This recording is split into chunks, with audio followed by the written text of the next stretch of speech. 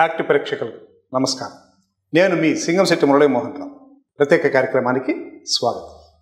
మరి అలివేణి ఆణిముత్యమ అనే పాట మీరు వింటే ఆనాటి తరం అంతేగా?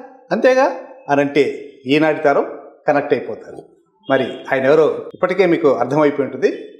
ప్రదీప్ గారు సీనియర్ సినీ ఆర్టిస్ట్ మరి సీరియల్ ప్రొడ్యూసర్ డైరెక్టర్ యాక్టర్ అలాగే మోటివేటర్. మరి ఇలా ఎన్నో రంగాల్లో ఆయన తన యొక్క ప్రతిభను చాటుకున్నారు. దాదాపు నలభై నాలుగేళ్ళుగా ఆయన ఈ పరిశ్రమలో వివిధ రంగాల్లో ఉంటూ మనకి సుపరిచితులైన ప్రదీప్ గారు ఈరోజు మనతో ఉన్నారు. వారితో మాట్లాడి కొన్ని వారి విశేషాల్ని తెలుసుకుందాం. నమస్కారం సార్. నమస్తే అండి. బాగున్నారా? బాగున్నారు సార్.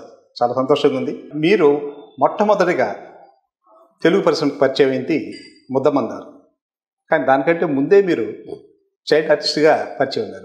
ఆ సినిమా విశేషం సార్? యాక్చువల్గా ఆన్ స్టేజ్ నేను నాకు ఐదో సంవత్సరంలోనే నాటకం వేశాను నేను. ఓకే. అంటే ప్రొఫెషనల్ థియేటర్లో పిల్లలు వేషాలు వేసేవాళ్ళం మేము బ్రదర్స్ అందరు.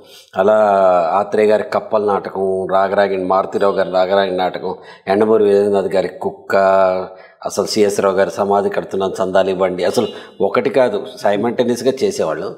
అయితే పంతొమ్మిది వందల seventy six or seventy seven నాకు గుర్తులేదు. ఇదెక్కడ న్యాయం అనే సినిమా చేశారు దాసర్ గారు. అందులో మంచి స్టోరీ అండి. నీ కుటుంబాన్ని నువ్వు నువ్వు పోషించుకుంటావు నా తమ్ముళ్ళని నేను పోషించకూడదని భార్యాభర్తలు విడిపోతారు. ఆ తమ్ముడు నేను. ఇంకోటి మా చిన్న తమ్ముడు దిలీప్. ఇద్దరు యాక్ట్ చేసాం అవకాశం ఎలా వచ్చింది సార్? అంటే స్టేజ్ ప్లేస్ వేస్తున్నప్పుడు దాసరి గారు కుక్క అనే నాటకం ఎండమూరి వీరేంద్రనాథ్ గారిది. మేము నలుగురం బ్రదర్స్ వేసేవాళ్ళం.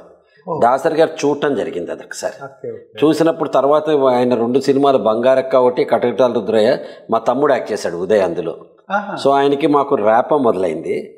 అసలు ఇదెక్క న్యాయం? ఇప్పుడు ఒక రోజున మొత్తం యూనిట్ అందరినీ ఆపేసి కుక్క నాటకం వేయించుకున్నారు మా బ్రదర్స్ చేత సెట్ మీద. వాళ్ళందరూ లేట్గా భోజనం చేద్దారు. ముందు ఈ నాటకం చూడాలి. చూసిన తర్వాత వెళ్ళాలని.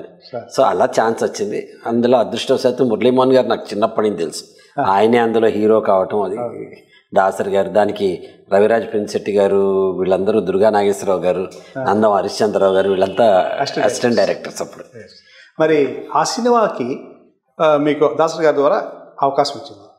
మరి హీరోగా అదే అది ఎలా వచ్చింది సినిమా? హీరోగా అంటే అది రాసి పెట్టింది తర్వాత చిన్నప్పటి నుంచి అనుకుంటుంది అది.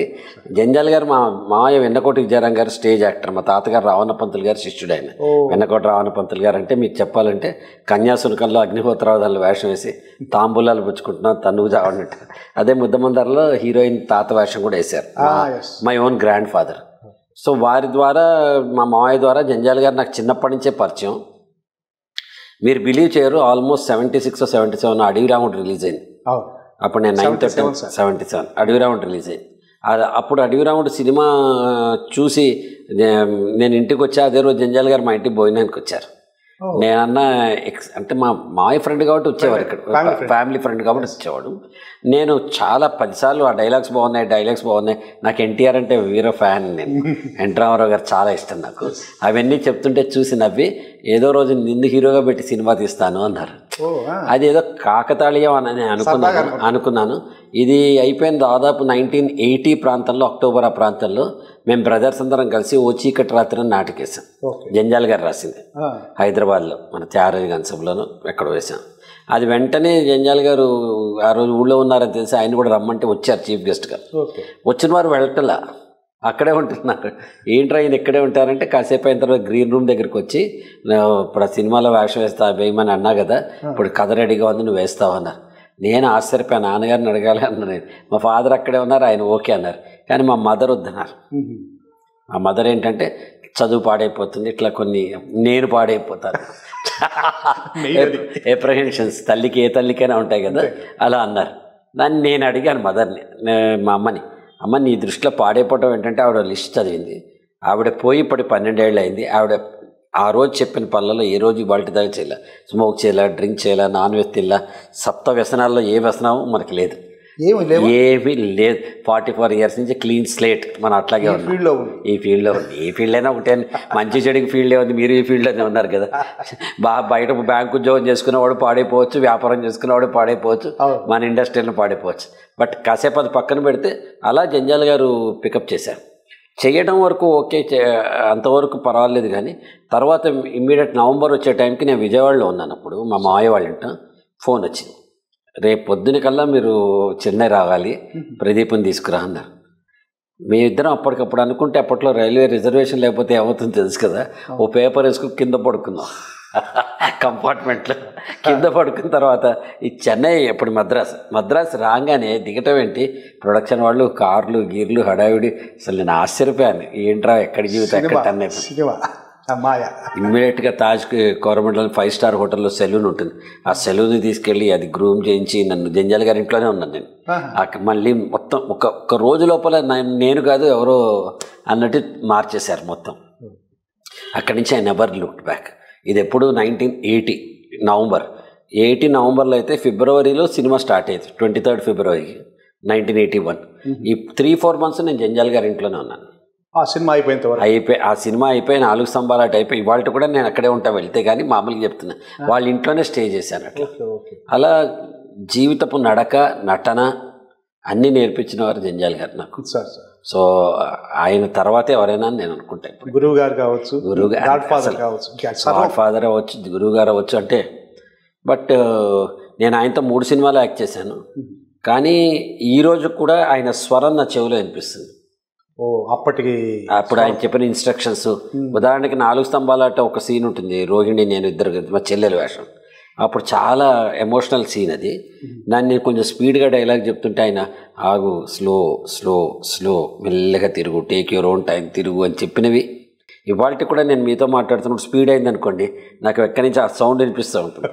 కూల్ డౌన్ కూల్ డౌన్ స్పీడా డైలాగ్ చెప్పడం మా పర్వాలేదు కొంచెం స్పీడ్ అంటే ఎవరైనా కొంచెం హైపర్గా ఉంటారు. నా- నేను పాత్రను బట్టి చెప్తాను. మామూలుగా మాట్లాడేటప్పుడు స్పీడ్. ఎందుకంటే నా ఆలోచనలు నా మాటల కంటే స్పీడ్గా ఉంటాయి. ముద్ద మందారము నాలుగు స్తంభాలాట రెండు జల సీత ఈ మూడు సినిమాలు సూపర్ హిట్ సినిమాలు. అవునండి. మరి అందులో మీరు హీరో. మరి ఆ మూడు సినిమాలు చేసిన తర్వాత సడన్గా మీరు బ్యాక్ అయిపోయారు. అంటే ఇండస్ట్రీ తప్పు కాదండి. అప్పటికే బాలచంద్ర గారు భారతీరాజు గారు లాంటి పెద్ద డైరెక్టర్స్ తెలుగు వాళ్ళు అందరూ నాకు ఎంక్వైరీస్ వచ్చినాయి అప్పుడప్పుడు ఆడిషన్స్ చేశారు. ఇంకా కుర్రాడు అనుకుని కొందరు మళ్ళీ నెక్స్ట్ చేద్దాం కొందరు ఉన్నారు. నాకెందుకో ధైర్యం చాలేదు అది నా తప్పు ఇండస్ట్రీ తప్పు కాదు. ఎందుకంటే నేను నైన్టీన్ ఇయర్స్కే ఇండస్ట్రీకి వచ్చా తొందరపడి కోయిల ముందే కూర్చుందని. అంత తన్నగా ఉండేవాడిని. కొంచెం ఇంకా వాయిస్ కూడా సెటిల్ కాని స్టేజ్ ఉంది. ఇప్పుడు ఇటుగా ఇటు నుంచి అటు అయిపోతే ఏమైపోతానని ఒక లోవర్ మిడిల్ క్లాస్ ఫ్యామిలీ నుంచి ఒక ట్రెడిషనల్ ఫ్యామిలీ నుంచి వచ్చిన వాడిని నేను భయపడ్డాను. రెండోది నాకు ఈ రోజు కూడా చొరవ ఉండదు. గలగల వెళ్ళిపోవటం దూసిపోవటం చొరవ ఉండదు. నా అంటే నా స్టైల్ నాకు ఉంటుంది అది మంచి అవ్వచ్చు చెడవచ్చు ఆ చొరవ సినిమా ఇండస్ట్రీకి కావాలి అక్కడ కావాల్సిన చొరవ నాకు లేదు అని నాకు అనిపించింది. ఎవ్వరూ అల్ల అసలు ఇన్ఫ్యాక్ట్ నాలుగు స్తంభాలు ఆట తర్వాత నేను హైదరాబాద్ వెళ్ళిపోతాను చదువుకుంటాను అని చెప్తే జంజాల్ గారు కోప్పడ్డారు నన్ను. నువ్వు పిచ్చోళ్ళ చేస్తున్నావు ఇంత పెద్ద ఆపర్చునిటీ యూఆర్ సిట్టింగ్ అనే ట్రెజరు నువ్వు ఇప్పుడు వదిలేసి ఎందుకు వెళ్తావు? నువ్వు నిజానికి ఇక్కడ ఒక రూమ్ తీసుకుని ఇక్కడ ఉండు నీకు మా ఇంట్లో ఏమైనా ఇబ్బంది ఉంటే ఒక రూమ్ తీసుకుని ఉండు. నువ్వు అక్కడ ట్రై చేయి నువ్వు అన్నారు. నాకెందుకో ధైర్యం చాలు. నేను సీఏలో జాయిన్ అయ్యాను. సీఏలో చదవడం జాయిన్ అయిన తర్వాత బీకామ్ అయిపోయింది? బీకామ్ నాకు ముద్దమందారు అప్పుడు ఫైనల్ ఇయర్ అయిపోగానే సీఏ అయిపోయింది. బీకామ్ అయిపోయింది. సీఏలో జాయిన్ అయ్యాను. సీఏలో జాయిన్ అయినప్పుడు జంజాల్ గారు మళ్ళీ కాల్ చేసి "న- రెండుజళ్ళ సీత నాలుగు క్యా- క్యారెక్టర్స్. నేను నరేష్ రాజేష్ సుభాకర్. ఒక వేషం నువ్వు వేస్తే బాగుంటుంది అని అందరం అనుకుంటున్నాం అంటే సరే ఒక వేషమే కదా అని అది కూడా వేశాను నేను. ఒక్కసారి సీఏలో వెళ్ళిన తర్వాత నేను ఇంకా I thought I leave films అనుకున్నాను. అంటే నాకు నాదే ఆత్మన్యూన్యత భావం ఉండొచ్చు అప్పటి పరిస్థితుల్లో ఉండొచ్చు ఎన్టీఆర్ దగ్గర నుంచి అందరూ ఎస్టాబ్లిష్డ్ హీరోస్. నాకు నాకే నాకే ధైర్యం చాలా. ఎవరిని నేను తప్పు పట్టను ఒక్కసారి సీఏలో జాయిన్ అయిన తర్వాత ఒక రెండేళ్ళు బుద్ధిగా చదువుకున్నాను. ఒక స్టేజ్ దాటైపోయిన తర్వాత దూరదర్శన్లో ఒక చిన్న డాక్యూ డ్రామాలో యాక్ట్ చేయమని చెప్పారు. ఏం పోయింది? వేద్దాం. టెక్నాలజీ కొత్తని ఆహ్వానించాలని వెళ్ళా. వేసినప్పుడు then I got it feeling that అసలు సీరియల్ తీస్తే ఎలా ఉంటుంది అనే ఫీలింగ్ వచ్చింది. నేను ఇలా ఆలోచిస్తున్నప్పుడే ప్రభు గారు అని ఒక దూరదర్శన్ ఎక్స్ ఎంప్లాయ్ ఆయన ఆయన బయటకు వచ్చి కేవలం హైదరాబాద్ పరిధిలో అప్పుడు దూరదర్శన్ ఉండేది. మీకు ఇక్కడంతా వచ్చేది కాదు. హైదరాబాద్ పరిధి అంటే ఒక ఎనిమిదికి పది కిలోమీటర్ల రేడియస్లో అక్కడే ఉండేది. ఈవెన్ ఉప్పల్లో వచ్చేది కాదు అనసల్పురంలో వచ్చేది. ఉండి హైదరాబాద్లో వచ్చేది. రామంతపూర్ అంటారు కదా? రామంతపూర్ కూడా కాదు అప్పుడు. ఇంకా సోమాజిగూడలో ఉంది అప్పుడు. అక్కడ వచ్చి అటువంటి టైంలో అనగనగా శోభ అని ఒక సీరియల్ తీశారు. నిజానికి చరిత్ర ప్రకారము first serial Anaganaga Shobha first hero Pradeep first heroine Shilpa. ఇది చరిత్ర ఎవరు డైరెక్టర్ ప్రభు గారు. ఇది ఎవరు మార్చలేదు. సీనియర్ ఆర్టిస్ట్ శిల్ప మన శిల్ప పాత డబ్బింగ్ శిల్ప.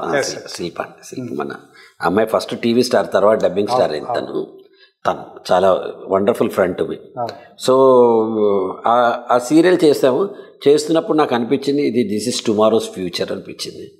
ఇంకా నేను ఆలోచించాల. నేను వెళ్ళి అప్రూవల్ తీసుకుని బుచ్చిబాబు అనే సీరియల్ తీశాను నా అదృష్టవశాత్తు ఎంటైర్ ఆంధ్రప్రదేశ్ హుకప్ అయిన టెలికాస్ట్ అయిన ఫస్ట్ సీరియల్ బుచ్చిబాబు. సో హైదరాబాద్కి నేను ఫస్ట్ హీరోని. మిగతా ఆంధ్రప్రదేశ్ అంతా ఫస్ట్ హీరో ప్రొడ్యూసర్ డైరెక్టర్ నేనే. మీరే? నేనే. తెలుగులో సీరియల్ తీసిన వాడు నేనే. సీరియల్ సీరియల్ ఎలా చేశారు సార్ అంటే నాకు రేపటికి ధైర్యం తీసుకోవాలనుకున్నాను. అంటే ఒక చోట దేవుడు చెప్తాడు కదా ఓ చోట అవకాశం ఒక తలుపు మూసిపోతే ఇంకో తలుపు తెరుచుకుంటుందని. నాకు అలా తెరుచుకుంది తలుపు. నాకు అట్లా మా బ్రదర్ అడ్వర్టైజింగ్లో ఉండేవాడు. గో హెడ్ అన్నాడు. నేను మార్కెట్ చేయిస్తాను నీకేం టెన్షన్ లేదు నువ్వు వెళ్ళమన్నాడు. ఇన్సిడెంటల్లీ అనగనగా శోభకి బుచ్చిబాబు రెండింటి కూడా మా అన్నయ్య మార్కెటింగ్ చేయించాడు. గాద్రేజ్ తోటి ఈ డిఫరెంట్ కంపెనీస్ తోటి. సో ఒక్కసారి టెలివిజన్లోకి వచ్చిన తర్వాత నేను ఏ రోజు చూసుకోలేదండి. Nineteen eighty six June fifteenth Buchchibabu serial own production మొదలుపెట్టాను. రెండు వేల ఆరు వరకు అంటే ఇరవై ఏళ్ళ పాటు పగలేదో రాత్రిదో తెలియకుండా ప్రొడక్షన్స్ చేసేవాడు television serials telefilms documentaries corporate films public issue films socially relevant films. అసలు హైదరాబాద్లో ఏ ప్రొఫెషనల్ నేను అప్పట్లోనే ఇప్పుడున్న గ్రీన్ మ్యాట్ స్టూడియోస్ నేను నైంటీ వన్లోనే ఒకటి ఎక్వైరీ చేసుకున్నాను చేసుకుని నేను చేసేవాడిని. అంటే ఇప్పుడు ఎన్నెన్నో ఈవెంట్స్ చేసేవి ఉన్నాయి తర్వాత యాడ్స్ చేసే కంపెనీస్ ఉన్నాయి. అన్ని మనం ఒక్కళ్ళమే. ఒకరోజు పొద్దున కాంగ్రెస్ పార్టీ తరఫున ముఖ్యమంత్రి నేదరమల్లి జనార్దన్ రెడ్డి గారు అదే రోజు మధ్యాహ్నం టీడీపీ తరఫున ఎన్టీ రామారావు గారు సాయంత్రం బీజేపీ తరఫున ఇక్కడ లోకల్ నరేంద్ర గారు ఒకే రోజు నా స్టూడియోకి వచ్చారు. ముగ్గురికినే వర్క్ చేశా మూడు పార్టీలకి. అన్ని రికార్డులే. అది రికార్డ్ ఏం లేదండి మన సార్ సర్వైవల్. అదే. ఇప్పుడు సర్వైవల్. ఫస్ట్ తరం నీదే అయినప్పుడు ఫస్ట్ అడుగు నీదే అయినప్పుడు ఇలా చెయ్యాలని ఎవడు చెప్పనప్పుడు ఇలాగే చేస్తూ ఉంటాం పట్టు ఉంటాం లేస్తూ ఉండడం నేర్చుకుంటూ ఉండటం. ఇది నా జీవితం. జీవితమే పాఠాలు పాఠాలు నేర్పిస్తుంది కదా ఆటోమేటిక్ దెన్ అఫ్ కోర్స్ ఏం సూపర్ స్టార్ స్టేటస్ ఉండేదంటే అప్పుడు? టెలివిజన్ ఒక్కటే ఛానల్ దూరదర్శన్. ఆ. ఒక్క దూరదర్శన్లో మనమే స్టార్స్. జనం వారం రోజులు వెయిట్ చేసేవారు ఒక అరగంట ఎపిసోడ్ కోసం. Weekly once weekly once Doordarshan. డైలీగా daily ఎప్పుడండి రుతురాగాలు వచ్చాక వచ్చింది? నాకు close to ninety three ninety four ఎప్పుడు వచ్చింది నాకు గుర్తులేదు. రు- రుతురాగాలు వచ్చిన తర్వాత డైలీ సీరియల్ వచ్చింది. అప్పటిదాకా వీక్లీ సీరియల్సే మొత్తం అంతా. ఆ వీక్లీ సీరియల్లో నువ్వే నిర్మాత నువ్వే నటుడు నువ్వే దర్శకుడు నువ్వే రచయిత ఎవ్రీథింగ్ నేనే ఎడిటింగ్ నేర్చుకున్నా నాదే ప్రొడక్షన్ హౌస్ మా ఇంట్లో కుటూరు పరిశ్రమ లాగా ఒకటి తర్వాత ఒకటి చేసి పారేసే వాళ్ళం. Serials telefilms corporate films. ముగ్గురం బ్రదర్స్ ఉండేవాళ్ళం. అంటే ఐదుగురం బ్రదర్స్ ఇద్దరు ముగ్గురం ఈ ఫీల్డ్లో ఉండేవాళ్ళం అప్పుడు. కోఆపరేటివ్గా ఉండేవాళ్ళు. కలిసే ఉంది. ఈ రోజు కూడా కలిసే ఉంటాం అట్లా. సో మా విషయం ఏంటంటే అలా నాకు కెరియరే ఒక దారి చూపించింది. ఓ టెలివిజన్ అనేది ఒక రంగం ఉంది కదా. దెన్ టెలివిజన్లో చేస్తే నేషనల్ లెవెల్లో చేయడానికి అవకాశం వచ్చింది. హిందీ సీరియల్ ఒకటి ఫోక్ డాన్సెస్ ఆఫ్ ఇండియా అనే సీరియల్ అవి చేయటం మొదలెట్ ఈ లోపల కార్పొరేట్ ఫిల్మ్స్ పెద్ద పెద్ద క్లయింట్స్ ఐటీసీ ఎస్బీఐ లాంటి వాళ్ళ కార్పొరేట్ ఫిల్మ్స్ అన్నీ చేసేవాళ్ళం. ఇవి చేస్తున్నప్పుడు advertisement films Godrej Murphy TV లేకపోతే దాని ఏంటి ఎల్జీ బోర్వెల్ ఓల్డ్ మాంక్రమ్ ఇవన్నీ అడ్వర్టైజ్మెంట్ ఫిల్మ్స్ చేసేవాళ్ళం. ఇలా ఒక్కటిగా తెల్లారితే ఎప్పుడు రాత్రి అవుతుందో తెలియనంతగా వర్క్ చేశాను. టెలివిజన్ ఇండస్ట్రీలో ఇప్పుడు నేను నాకు తెలిసి ఒక నైన్త్ జనరేషన్ కెమెరాస్తో వర్క్ చేస్తాను. ఇప్పుడు ఈ camera my ninth generation camera. ఓ. ముందర low band camera picture picture tube camera low band camera high band ఇట్లా మీరు అన్నీ చెప్తే అంత అన్ని కెమెరాస్తో వర్క్ చేశాను. ఒంటి మీద నలభై కిలో వాట్ లైట్ వెలగడం నుంచి ఇప్పుడు simple cool just cool light వెలగడం వరకు చూశాను నేను generation forty four years of my journey కదండి. Cinema to television to cinema everything ప్రతిరోజు ఆర్ట్కు సంబంధించిన పనే చేశాను. ఉమ్. సినిమా భాషలో చెప్పాలంటే ఆనాటి పాతాళ భైరవి కాడి నుంచి ఇప్పటి వరకు మరీ పాతాళ బయలు వద్దులేండి కానీ శంకరాభరణం నుంచి. సినిమా భాషలో చెప్పా. అదేంట శంకరాభరణం నుంచి ఇప్పటిదాకా అని చెప్పండి. నుంచి మీరు ఇప్పటిదాకా చేసినట్టుగా టీవీ రంగంలో చేశారు. టీవీ టీవీ రంగంలో పుట్టింది మాతోనే కదండి. అది. పుట్టింది నాతోనే కదా. ఇవాళ కూడా టీవీ ఇండస్ట్రీ చరిత్ర చెప్పాలి అంటే మేము ఒక ఐదారుగురమే ఉన్నాం ఇంకా చెప్పడానికి. పేరు మీ పేరు చెప్తారు. అది వాళ్ళ అదృష్టం అనుకోండి. చెప్తారు మరి మీరు సినిమాల్లోకి మళ్ళీ ఎంట్రీ ఇవ్వాల? అంటే మీరు చెప్పిన రెండు వేల ఆరు వరకు టీవీలో బిజీ అయిపోయారు. అవునండి. మళ్ళీ ఎప్పుడు ఇచ్చారు సెకండ్ ఇన్నింగ్స్ నో? యాక్చువల్గా చెప్పాలంటే రెండు వేల ఆరు వరకు ఎన్ని సినిమాలు వచ్చినా నేను చేయలేపాను ఓకే. రెండు రీజన్స్ ఒకటి నేను చేయలేకపోయా రెండు వాళ్ళు వద్దనుకుంటారు.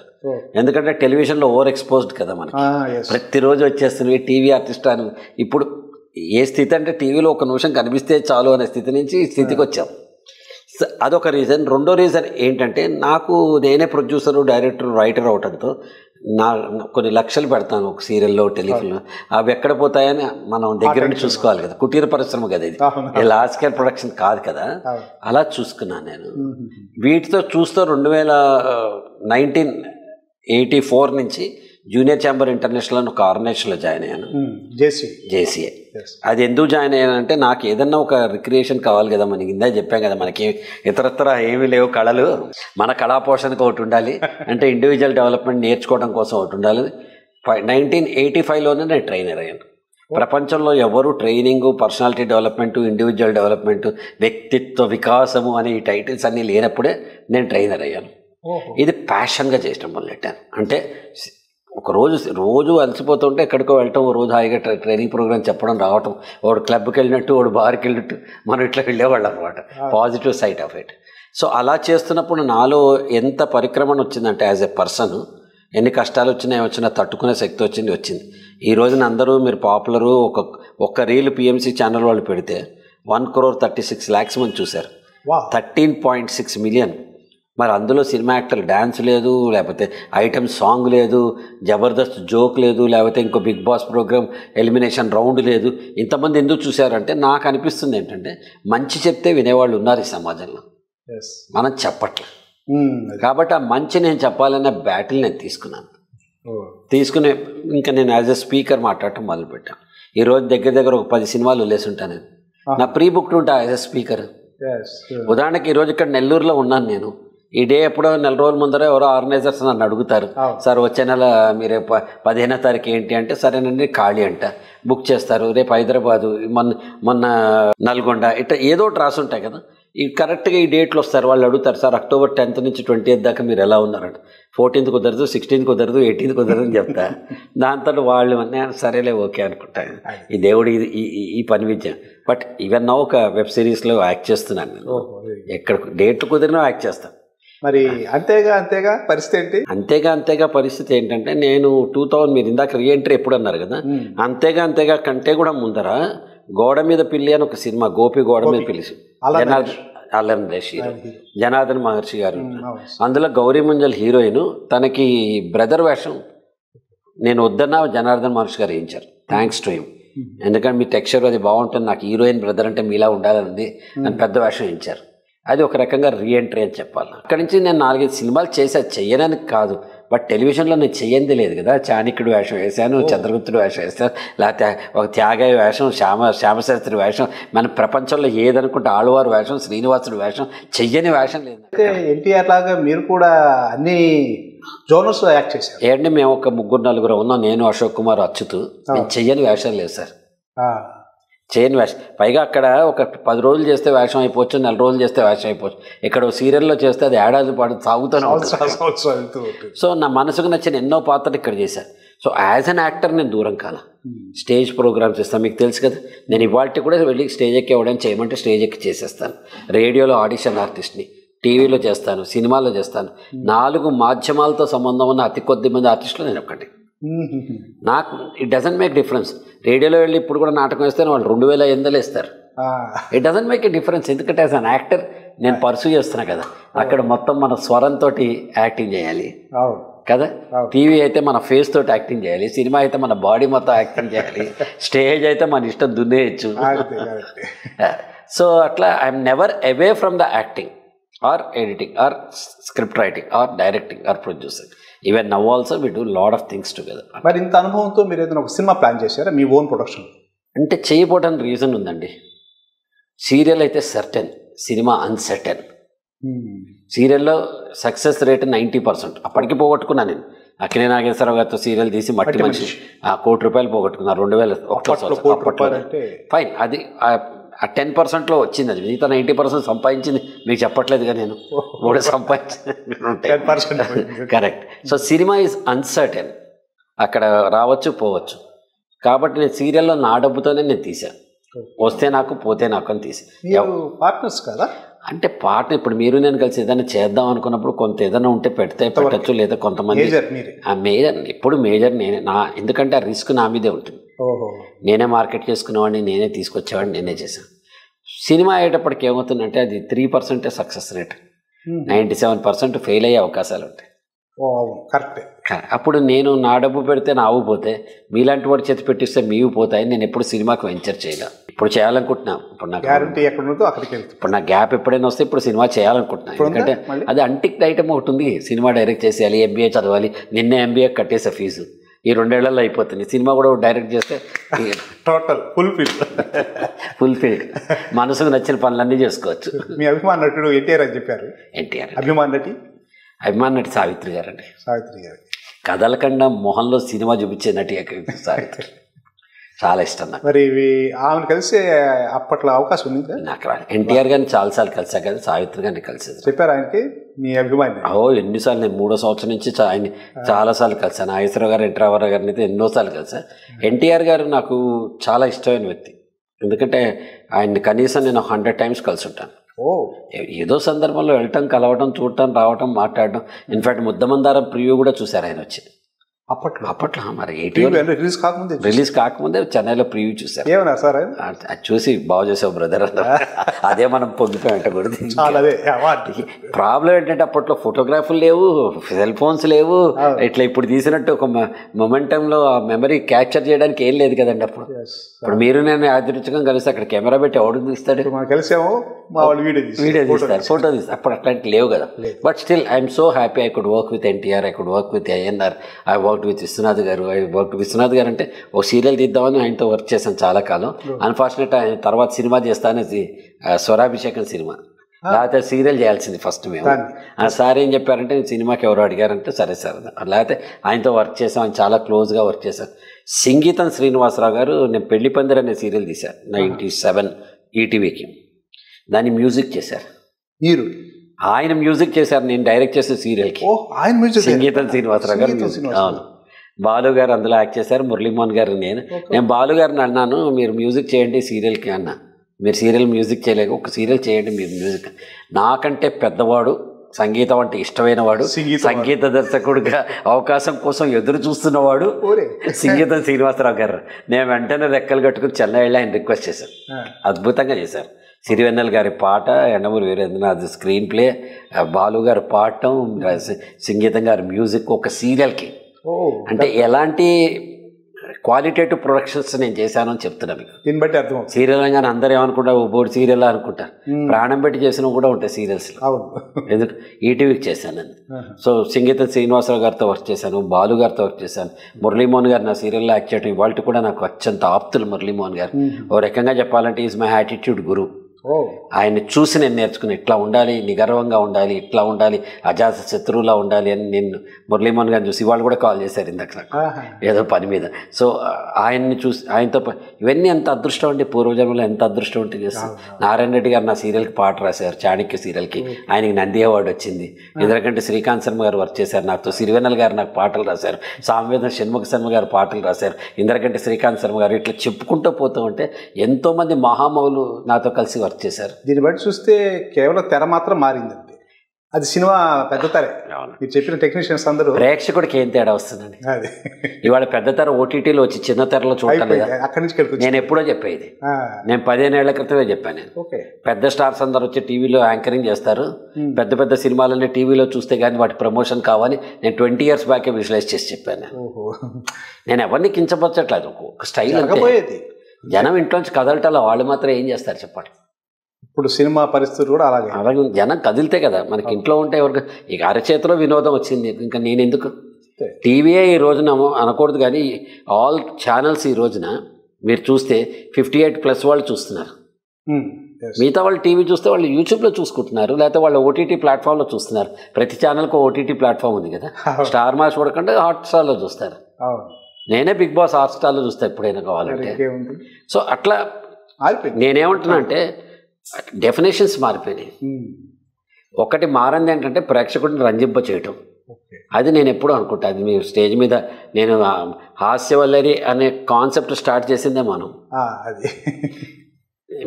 మేమే సార్ మీ అందరం ఫ్రెండ్స్ ఒక రోజున టెలివిజన్ స్టార్స్ అందరూ శ్రీకాకుళం వెళ్తున్నాం. ఏప్రిల్ ఏడు పంతొమ్మిది వందల తొంభై. శ్రీకాకుళం వెళ్తున్నాం అందరం. వాళ్ళు అక్కడ ఎగ్జిబిషన్ సొసైటీ ఉంది జేసీ వాళ్ళు ఏదో ప్రోగ్రామ్ పెడుతున్నారు. పదివేల మంది జనం ఉంటారు మీరు అందరూ గెస్ట్ల కింద రండి మీకు రాను పోను ఏసీలు ఇచ్చి ఉంచుకుంటాం. ఏం డబ్బులు లేవండి ఇప్పటిలాగా నాకేం ఇస్తాం అనే సామ. సాంప్రదాయం జీవితంలో లేదు. ఇవాళ కూడా ఎవడైనా పిలిస్తే మనం డబ్బులు తీసుకోం మన ప్రొఫెషనల్గా వాడుకుంటే తప్ప లేకపోతే అందరం వెళ్ళిపోయాం. నేను అచ్యుతు అశోక్ కుమారు మన అనంతు ఉదయ్ ధర్మవరం సుబ్రహ్మణ్యం శిల్ప పది పదకొండు మంది ఆర్టిస్టులు ఉన్నారు సివిఎల్ నరసింహారావు పదకొండు మంది అశోక్ రావు ఇంతమంది top stars of television at that time మేము ట్రైన్లో వెళ్తున్నాం. అన్ఫార్చునేట్లీ ఆర్ ఫార్చునేట్లీ ఆ ట్రైన్ లేట్ అయిపోయి వి- విశాఖపట్నానికి విజయనగరం మధ్యలో రెండు గంటలు అయిపోయింది. ఏదో కారణాల వల్ల. అప్పుడు నేను అన్నాను మనం సాయంత్రం వెళ్ళి మాట్లాడడం కంటే ఏదైనా చేస్తే ఎలా ఉంటుంది అన్నాను. వెరీ గుడ్ అనగానే ఏం చేద్దాం ఏం చేద్దాం అంటే ధర్మవరం సుబ్రహ్మణ్యం అన్నాడు ఆనంద బ్రహ్మని మన స్టేజ్ మీద చేస్తే ఎలా ఉంటుంది? అన్నాడు. సూపర్ అన్న. మరి యాంకర్ ఎవరు చేస్తారు? నేను యాంకర్. అప్పటికప్పుడు ఇరవై స్క్రిప్ట్లు రాసి ఆ రైలు ఆగిపోయిన చోట ఇరవై స్క్రిప్ట్లు రాసి అందరం రిహార్సల్ చేసి సాయంత్రం గెస్ట్ కింద పిలిచిన వాళ్ళు గంట ప్రోగ్రామ్ చేసామండి అక్కడ గంటన్నర అదిరిపోయి పదివేల మంది జనం ముందర. వావ్ అనుకున్నాం. ఇది ఎందుకు కంటిన్యూ చేయకూడదు? అక్కడి నుంచి మొదలెట్టాం. అదే అప్పుడు మీరు నెల్లూరులో చేయడం ఆ, చేయటం. నేను చూడడం. నేను దాన్ని ఒక ముప్పై ఏళ్ళ పాటు హాస్పిటల్గా క్రియేట్ చేసి చేశాను. ఏదైనా కూడా మీ యొక్క ఇన్స్పిరేషన్ లేదండి అట్లా ఏం లేదు. ఏదో కొత్త చేయాలని తపన అంతే. అంతమించి ఏముంటుంది అట్లా. సో నేనేం చెప్తున్నా అంటే అల్టిమేట్లీ మీరు టీవీలో చేసినా రేడియోలో చేసినా సినిమాలో చేసినా ఓటీటీలో చేసినా వెబ్ సిరీస్లో చేసినా ఎక్కడ చేసినా మీరు చేసేదే ఆనందం వినోదం. ప్రేక్షకుడిని రంజింప చేయగలిగితే దాని పరమార్థం. జస్ట్ ఇది మారుతుంది ప్లాట్ఫామ్ మారుతుంది. ప్లాట్ఫామ్ ఆర్ ప్రేక్షకు అల్టిమేట్ అబ్జెక్టివ్ ఏంటి. To delight the audience delighting the audience దానికి ఇంక తేడా ఉంది. మీ ఫ్యామిలీ గురించి సార్ నాకు అద్భుతమైన ఫ్యామిలీ నాకు పది జన్మలున్న ఇదే కుటుంబం ఇదే తల్లిదండ్రులు ఇదే అన్నదమ్ములు ఇదే భార్య ఇదే పిల్లలు ఇదే అత్తమామలు ఉండాలని నేను కోరుకుంటున్నాను వెరీ గుడ్ అదొక వరం డ్రీమ్ అంటారు చూడండి.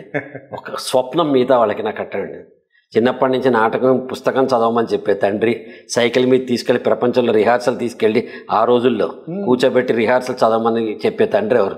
మా అమ్మ కూడా పక్కన కూర్చొని డ్రామా కట్టెలు కట్టేది మేము వేషం వేస్తుంటే మాకు ఐదుగురు బ్రదర్స్ని ఎంకరేజ్ చేశారు మా ఫాదర్ మదర్. యాజ్ నేను యాక్టర్ అయ్యానంటే అది మా నాన్న స్వప్నం నా స్వప్నం కాదు. చిన్నప్పటి నుంచి నాటకాలు ఆయన అసలు ఆయన అసలు అట్లా తీసుకెళ్ళిపోయారు జనరల్గా చదువుకోరా నాటకాలు ఏంటి నాటకాలు పిచ్చి ఏంటి అంటారు.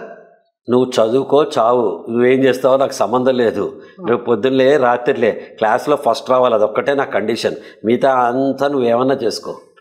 ఆరింటికి నాటకం రిహార్సల్ అంటే ఇంట్లో ఉంటే మా నాన్నగారు కోప్పడేవారు. ఇక్కడున్నా ఏంటి గో అక్కడ. వాళ్ళు రారు నాన్నగారు ఎవ్వరు రారంటే వాళ్ళు అంటే వాళ్ళు రాకపోతే నువ్వు వెళ్ళాల్సింది ఆరింటికంటే ఆరింటికి వెళ్ళని చెప్పేవారు ఓ. అటువంటి తల్లి తండ్రి మేము ఐదుగురు అన్నదమ్ములో ఐదుగురు ఇవాళ కూడా బాండింగ్. ఇవాళకి కూడా ఐదుగురు అన్నదమ్ములం పెద్ద అన్నయ్యకి సిక్స్టీ సెవెన్ ఇంకోటి సిక్స్టీ ఫైవ్ ఇట్లా వాట్ ఎవర్ ఈస్ దట్ అందరం ఈ బ్రాకెట్లో అరవై నుంచి అరవై ఏడు మధ్య బ్రాకెట్లో ఉన్నాం. సెవెన్ ఇయర్స్ మధ్య. సెవెన్ ఇయర్స్ మధ్యలో ఉన్నాం. ఇవాళకి కూడా మేము కలిస్తే మాకు ఇంకోళ్ళు ఎవరక్కల్లా అంత అల్లరి చేస్తాం. పిల్లల కంటే ఎక్కువ అల్లరి చేస్తాం మేము.